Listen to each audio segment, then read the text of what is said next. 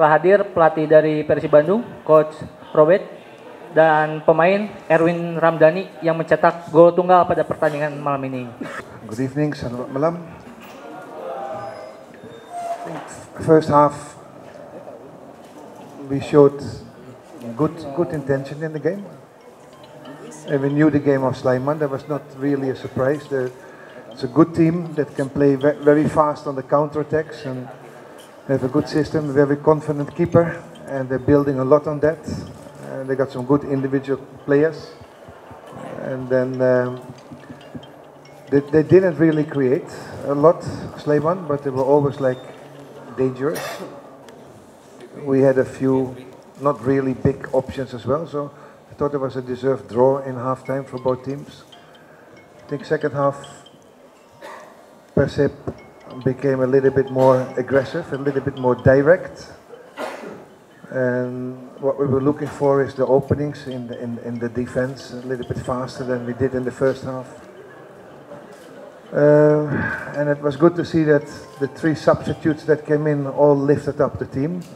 Beckham and Daddy, and then of course Erwin at the end. And Erwin was at the right spot, at the right place, and deservingly win 1 0 today. I think we did enough to win this match, although I still lacked people coming into the box to the good opportunities. And previously, uh, we draw these matches, or we even win win the matches, uh, but in the end we will draw still.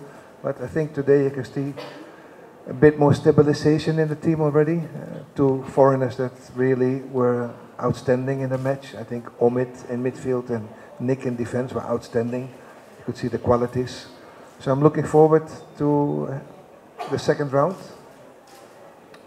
Today was what we discussed in the dressing room. It was not the end of the first round for us. It was already the start of the second round because there's a new team. Yang pertama selamat untuk Persib memenangkan pertandingan malam ini ya. Seperti itu. Eh, sebenarnya pertandingan cukup cukup bagus, artinya tensinya cukup tinggi, eh, terutama di babak pertama kan seperti itu. Sebenarnya ini yang sebenarnya eh, sedikit kita coba untuk antisipasi. Sebenarnya saya pengennya mungkin untuk eh, pemain di babak pertama lebih bisa mengendalikan tempo, tapi eh, kebetulan di babak pertama mengikuti tempo mereka artinya sama-sama cepat ya memang pertandingan menarik tapi dari sisi apa mungkin taktik strategi akan berbeda di situ sementara di babak kedua mungkin sudah mulai kendor banyak yang eh, kram banyak yang cedera artinya kan di babak pertama memang eh, temponya sangat tinggi ya ini yang mungkin menjadi eh, evaluasi kami ke depan dan eh, saya pikir secara keseluruhan pemain kami sudah berusaha keras, bekerja keras, artinya memang eh, seperti itu yang yang mereka inginkan. Jadi ya kita coba nanti di putaran eh, putaran kedua kita coba perbaiki di situ. Mungkin sementara itu aja. Eh, secara keseluruhan saya cukup eh, suka penampilan pemain kami seperti itu karena ngotot tidak mau kalah. Cuman ya sayang kalau dari sisi hasil kami kejuran di menit-menit akhir. Ini yang menjadi eh, PR buat kami. Terima kasih. Wassalamualaikum warahmatullahi wabarakatuh. Eh, pertama-tama saya ucapkan kepada pelatih yang sudah memberikan kesempatan saya untuk eh, menunjukkan kemampuan saya dan eh, mewujudkan impian saya untuk mencetak gol untuk Persib Bandung.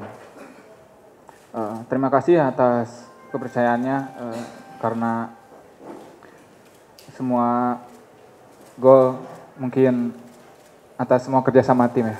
Dan saya diinstruksikan untuk memang eh, membuat peluang di dalam kotak penalti dan bisa memanfaatkan kesempatan itu. Eh, dan ya, terutama saya ucapkan terima kasih kepada Boboto yang sudah mendukung Persib. Kita lihat sendiri stadion penuh ya. Saya harapkan eh, pertandingan-pertandingan berikutnya eh, suasana seperti ini tetap terjaga ya. Karena kita tahu pertandingan-pertandingan kemarin eh, supporter supporter tidak sepenuh ini gitu. Dan saya harapkan pertandingan-pertandingan berikutnya eh, Bobotoh ter- terus memberikan dukungan kepada Persib karena itu sangat berarti buat kita semua.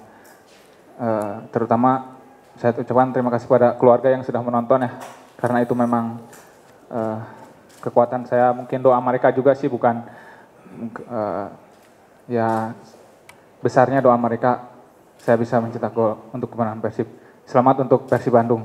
Mudah-mudahan awal kebangkitan kita untuk memulai putaran kedua. Terima kasih. Mungkin kami sebagai, sebagai pemain kami sudah berusaha semaksimal mungkin. Mungkin ini belum rezeki dari Tuhan.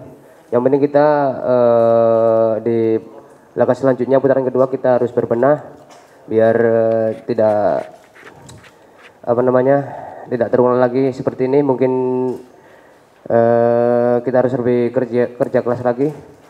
Kita eh, pemain semua eh, mungkin di sini eh, sudah berusaha semaksimal mungkin. Eh, terima kasih. Assalamualaikum warahmatullahi wabarakatuh.